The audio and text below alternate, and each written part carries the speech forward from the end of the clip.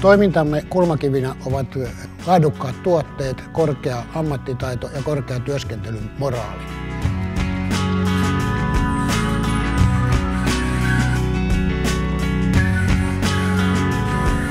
Näillä eväillä olemme saavuttaneet vankan aseman raskaan kaluston nostureiden toimittajana.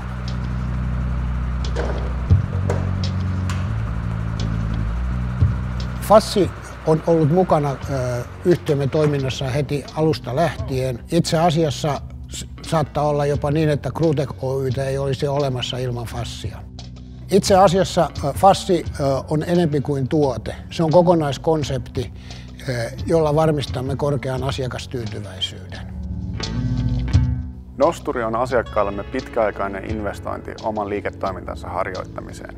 Näin ollen on ensiarvoisen tärkeää, että työvälineet ovat jatkuvasti kunnossa.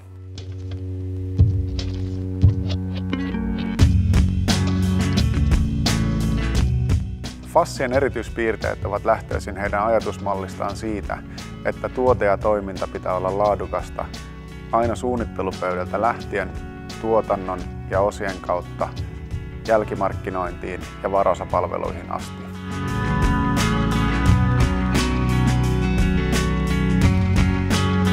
Tuote itsessään kestää hyvin vertailun kilpailijoihin ja lisäksi toiminnan korkea laatu erottaa sen positiivisesti kilpailijoista.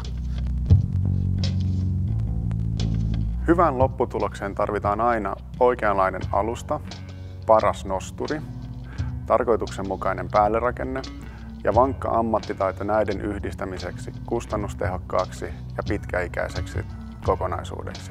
Valitsemalla Fassin nosturin asiakas saa laadukkaan nosturin lisäksi käyttöönsä myös korkealuokkaisen ja pitkäaikaisen kokemuksen nosturien asennuksesta ja päällerakentamisesta. Hyödyntämällä esimerkiksi suurilujusteräksiä rakenteissa olemme saaneet mallistoamme Fassi tutkii myös jatkuvasti uusia mahdollisuuksia kehittää olemassa olevia ja uusia tuotteita. Lisäksi Fassi ja Grutek ovat panostaneet nykytekniikan suomien mahdollisuuksiin tutkia mahdollisia vikatilanteita nosturin etäyhteyden avulla. Sen jälkeen huoltoverkostomme on valmis palvelemaan asiakastamme ympäri Suomen.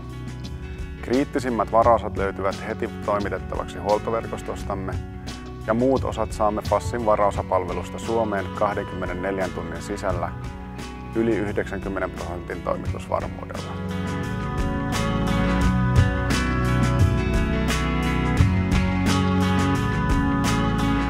Luottamus Fassin organisaatioon ja maailmanlaajuiseen myyntiverkostoon antaa varmuutta, et ole koskaan yksin.